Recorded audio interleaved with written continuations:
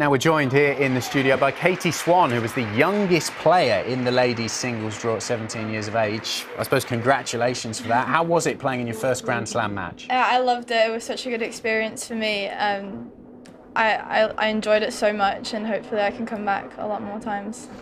Wimbledon, a special place for any tennis player, but particularly for British tennis players. How special was it for you playing on these hallowed courts? It was amazing. I, I'd been I played here twice before in juniors, but it was my first time playing in the women's, so that was special for me. And I love just love playing in front of my home crowd.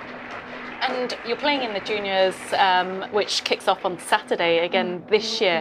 What would you say is the biggest difference between playing the junior events and playing, uh, I guess, with the seniors? Um, with juniors, because I've been playing for a few years now, I know most of the girls and uh, I'm friends with them and I know how most of them play. And then I guess when I transfer onto the women's tour, I, I don't I only know the people from watching them on TV or like growing up with people as my idols, so it's completely different in that sense. Walking around people who I'm used to used to looking up to instead of actually playing against. What's that been like? You mentioned watching players on TV, and now you're, I suppose, a colleague of them. You're yeah. working alongside them, playing alongside them at the, at the top level. Has that been something you've had to think about mentally? That these are the players I need to try and beat now because these are this is the level I'm at. Yeah, definitely. In the last year, I've been looking at it that way more as they're my competitors now, and uh, I need to do everything I can to try and beat them and to find out different ways in which I can do that. And how are you going to manage your schedule? You said you were playing in the juniors event. How are you managing your schedule now? Because you're still qualified to play in the juniors at your age. So yep. do you play mostly senior tournaments and then just the Grand Slams for the juniors, or are you going to play a mixture of the two? And um, yeah, this year I've only done a few junior tournaments, and I think it's going to become less and less uh, now. But I'll probably still play some of the slams next year, but I'll see how it goes. now, in terms of your training setup, I know you've um, spent a number of years out in the States, in Kansas, mm-hmm. I believe. Yes. Um, where is it now? How is it now, the differences? I think you're based in London now with your coach, Julian. Yes, so, well, my family's still based in the States, in Wichita, and uh, when I'm not there I, I train sometimes there and I train sometimes here in the National Tennis Centre. Um, yeah, and because I'm with Julian, who's French, it's easier for him to be there than to, to be in America. So that's what I do. And do your parents come over and spend time here um, with you in those times? No, not really. They're over at the moment, but because of they've got some time off in the summer. But most of the time I'm training and staying there by myself.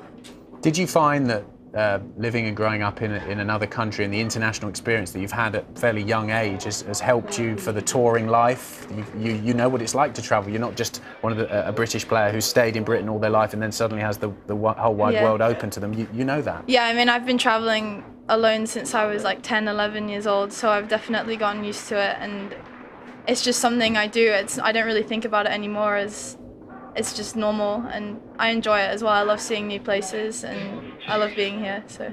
And just before we let you go, we know that family friends with, with Bob Wilson, the, the mm -hmm. former England and Arsenal goalkeeper, achieved wonderful success uh, on the world stage in football. Uh, in your conversations or your time spent with him, how's he helped you for, for the career that lies ahead of you? Yeah, he's so inspiring. Uh, he achieved so many great things and uh, such a nice man as well. He's so humble and uh, I think that's great for me to have someone like that around me supporting me. I'm really grateful to have him.